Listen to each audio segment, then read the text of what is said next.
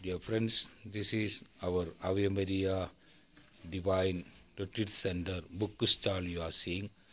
Open book stall. So, this is so many photos and we are making the rosaries also.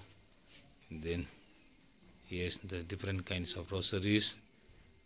Our, yes, there are you can see also, yes, and other one also here some photos.